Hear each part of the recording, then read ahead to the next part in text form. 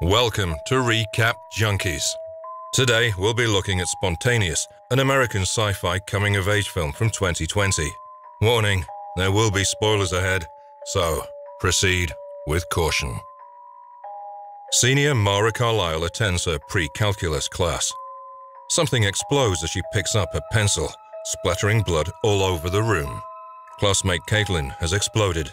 Her seat is covered with blood and remains. While the rest of her classmates run away, Mara stares at what used to be Caitlin's seat. Mara catches up with her best friend Tess McNulty. Mara tells Tess that Caitlin exploded.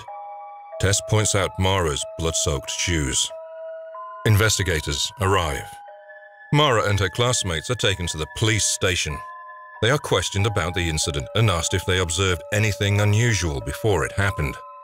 While they shower and change into sweatsuits, the students' clothing is taken away. They sit in silence in a room until Mara snickers. The rest of the students look at her as the others talk about what happened. Several theories are mentioned, and Mara warns them that it might happen again. The kids are released by the police so that they could be reunited with their families. Mara's parents meet her at the station and embrace her. She receives a text message from an unknown number. It reads, Hey, just wanted to express that I've had a crush on you for two years. She replies back. The school holds a memorial for Caitlin. Neighbors and friends gather to say their final goodbyes. Caitlin's father removes a sticker from the family car. Mara seeks relief from the Dalton twins. Tess is strongly against the idea and tries all she can to stop Mara, but she's unsuccessful. The twins suggest a drug, which Mara purchases. Mara pours her purchase into a cup in a nearby diner, with Tess joining her just in case something goes wrong. They talk about their life and how they've been best friends since elementary school and have been inseparable since then. Mara drinks from the cup as they toast to Caitlin and starts to feel phased. Dylan Hovermeyer approaches their table. Mara and Tess think about whether he should sit with them. Dylan takes a seat and the three of them discuss the funeral. Mara asks Dylan directly why he had come over. She recognizes him as the anonymous number with which she has been exchanging texts, and he confesses to having a crush on her. Mara is taken by surprise. Dylan tells her that the incident reminded him that life is too short and he wants to enjoy it while he can before it occurs again. Mara is feeling sick as a result of what she drank. She allows Dylan to follow her to the restroom. Mara looks at Dylan after getting the drug out of her system. She laughs at first, but he remains with her the entire time. Dylan invites her to the homecoming, and Mara contemplates why she should refuse, but is too intoxicated to make a decision. Students dress up as characters for Halloween. Mara and Dylan meet, and she makes him tell her the story of how he fell in love with her. Dylan tells her that he's been in love with her since the first time he met her. He'd only recently dared to approach her after two years. During the football game, Mara tells Dylan that she likes him. A football player explodes. Seeing a bloody field, everyone at the game hurries to the exit. Dylan and Mara hug. The phrase Covington Curse spreads around the town. A memorial service is held for the football player. Mara returns home to learn from her parents that school has been cancelled. The entire town is in confusion since the cause of the incidents is unknown. Mara waits outside her house for Dylan, who arrives in a run-down ice cream truck he bought with his savings. They drive to a party held by one of their classmates. They go outside and have their first kiss. People start shouting and fleeing the house. Mara and Dylan enter the house and see blood in the living room as another student has blown up. Mara and Tess are called by Agent Carla Rossetti, who asks them about the explosions. She thinks that all of the explosions may be the work of a single person and may include the use of illegal substances. Mara informs the Dalton twins that Agent Rossetti thinks that the explosions were caused by illegal drugs. Mara buys all of their products to test Agent Rossetti's theory. The twins and Mara drive to the drug stash. Joe blows up while driving. Jenna attempts to take control of the steering wheel.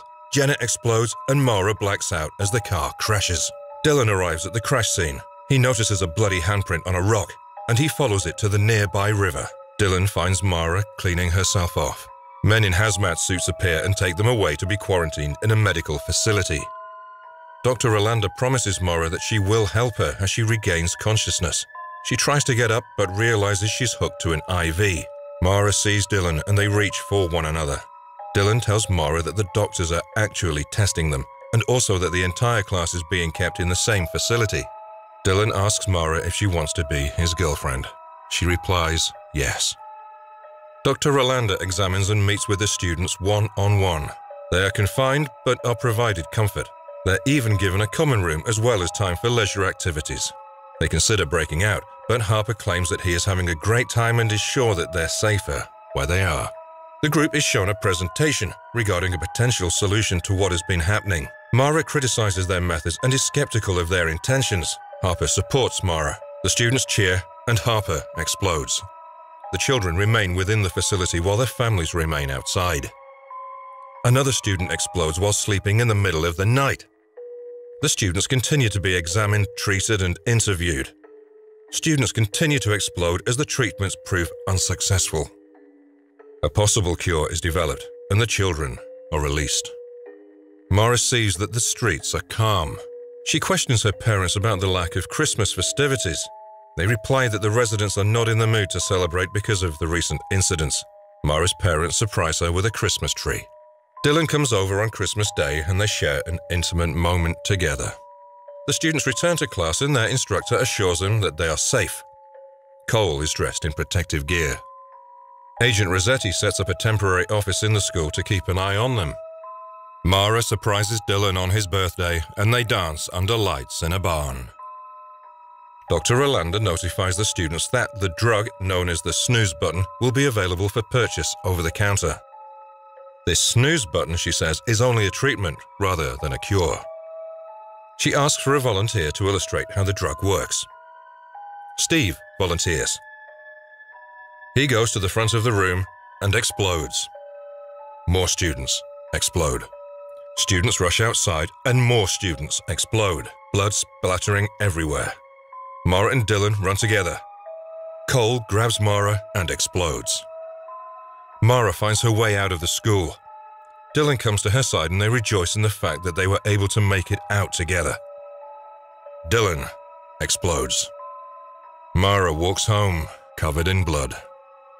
Mara remains in her home. She does not attend Dylan's burial and instead spends time mixing drinks and watching Dylan's old videos. Mara asks Tess to ditch school and drink with her, but Tess refuses. Tess leaves her and Mara goes to the store alone to purchase more alcohol. Agent Rossetti tries to help her, but Mara smashes the agent's car with a bottle. Mara sits on a swing in an empty playground, drinking a bottle of liquor. Tess sits beside her and they reconnect. Tess tells Mara that she's leaving to start a new life. Mara proceeds to finish the bottle of liquor. Mara attends the prom and graduation ceremony. She takes the stage and says that the explosions were her fault. She claims to be the cause of the incident, but everyone ignores her as she is visibly drunk. Another student says that it is her fault, and the rest of the students do the same. Mara wanders the streets and visits Dylan's grave. She cries on the ground Dylan's mother joins her, and they both lay down, recalling memories of Dylan. Mara's mother and father wait for her in the living room. Mara apologizes for her actions, and they accept. High school is over. Mara takes a look at her room. Her parents hug her goodbye, and she drives away in Dylan's ice cream truck, reflecting on the students that lost their lives and her future that lies ahead. So, how would you cope in this situation? Would you use it as an opportunity to find love? Let us know in the comments below. And be sure to get another dose of Recap Junkies by watching some other videos like this and subscribing with the bell. Thanks so much for watching.